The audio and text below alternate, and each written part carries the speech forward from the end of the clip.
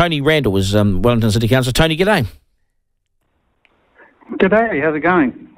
Not too bad, mate. Nice to, nice to have you on the program. You guys were pumped at the weekend, eh? You had the All Blacks. You've had um, what else have you Oh. had? You've had the Wiggles. Yeah, we had uh, the world of wearable arts, the WOW, big WOW thing started, and, uh, you know, um, 60,000 people into town, uh, people flying in from the Hawke's Bay. I, I talked to uh, a colleague, and, and he, he came in from the Hawke's Bay, came back to Wellington from the Hawke's Bay, said the plane, on Friday, he said the plane was full of people coming to Wellington for the test. and uh, and you know everything else is happening. So yes, Wellington, good old days, sort of you know a bit of a flashback really, and it was really really good weekend. It, it- it warms my heart to hear that. I'm, I'm Wellington born um, and spent 20 years there working there. Love the place, and on its on its day when it's pumping, it's it's pumping. It's an amphitheatre. It's a small town.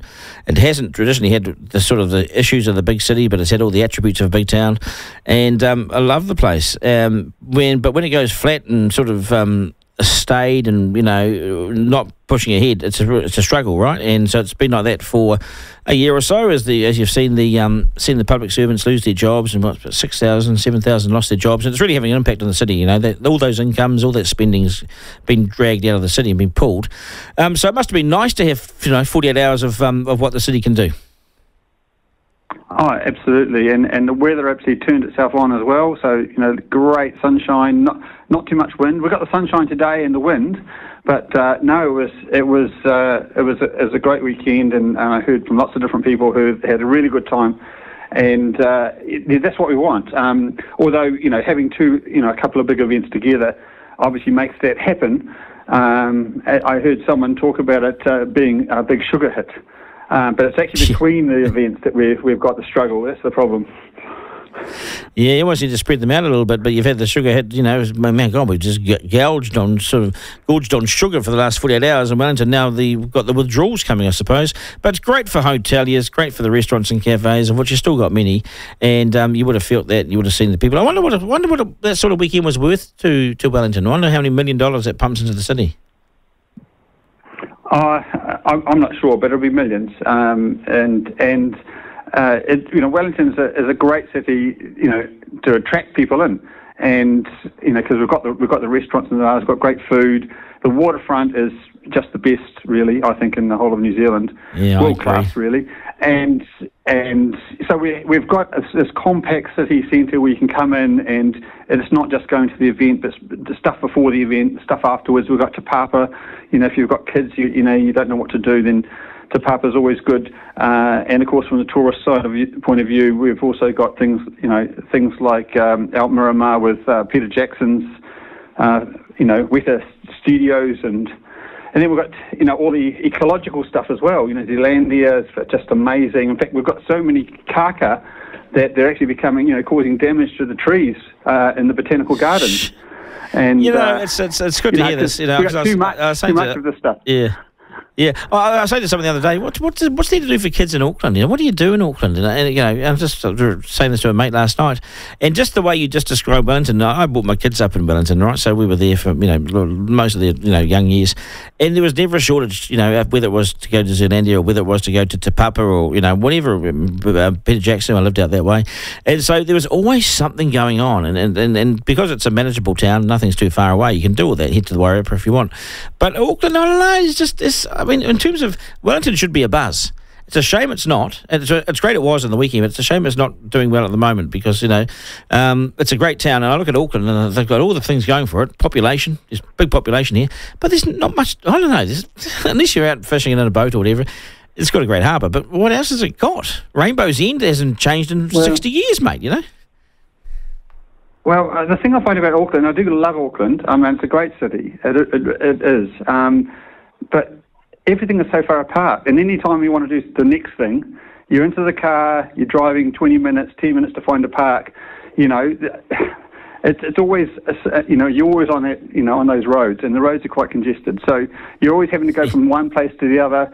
Um, I went to the Transport Museum, you know, really good, uh, you know, looked at the aircraft and, you know, World War II aircraft and everything, had a, had a good time there, but then you're back in the car and off to somewhere else for lunch. Uh, Yeah. Wellington, you can walk around and do it. And that's the great Yep. thing about it. That's if you've not been blown off your feet or, or getting drenched. But uh, if the weather's good, you can walk around it. That's for sure. hey, um, I tell you what, the best transport museum. If you want to go to a transport um, place, if you're ever in Invercargill for the school holidays, go to Bill Richardson's. That's Bill Richardson's Transport World is the biggest kept secret in New Zealand. If you know about it, it's not a secret. But if you don't, you've got to get there. I mean, I don't know if you get into your cars and trucks and everything, but this is a phenomenal collection that will have you just spellbound, I reckon. Yes, yes. Um, look, I think there's some amazing places, you know, throughout New Zealand. In the Wellington region, we've got our own little little gem in transport, which is the Southwards Museum. Yes. Which is up the yes. Kapiti Coast.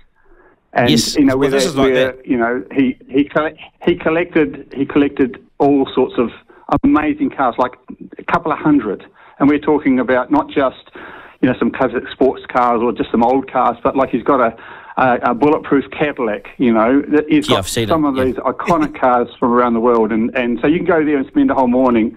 Uh, you know, if you're into cars the whole day. And it's uh, yeah. I mean, I think I think people should you know get on the net and and you know if they want to do something, there are some other places that, that just don't just get forgotten about a wee bit.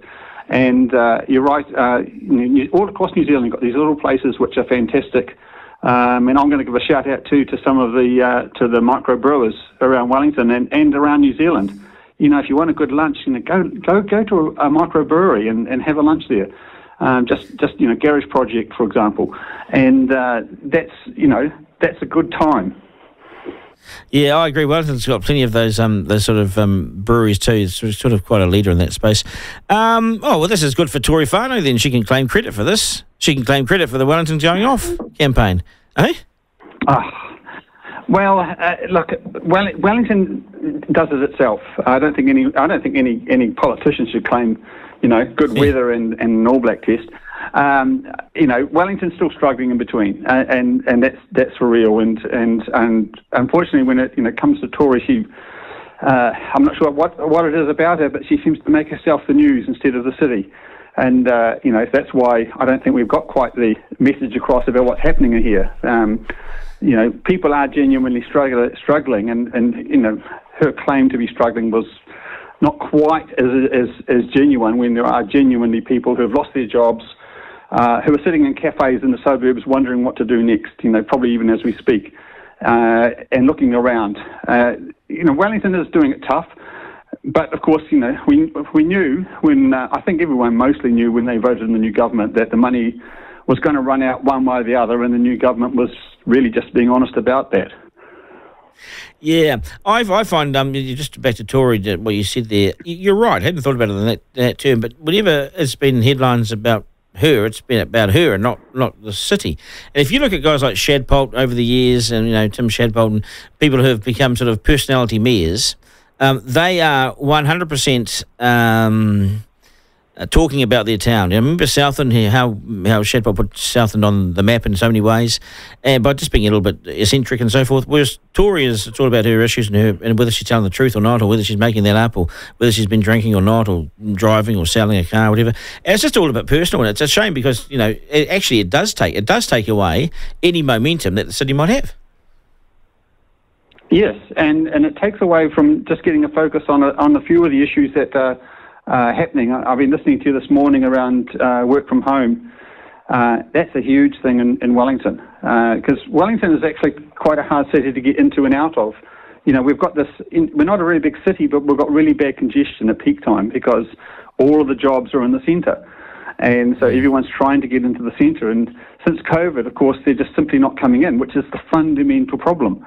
Um, lots of people only work uh, one day, two days, three days, and often they're the same days. It's the sort of Tuesday, Wednesday, Thursday, and Monday and Mondays and Fridays. You know, the car parks are empty, the roads are empty, and uh, so really we've got a three-day city running in the CBD at the moment, and that's why the cafes are struggling. That's one of the big reasons why it's sort of not working.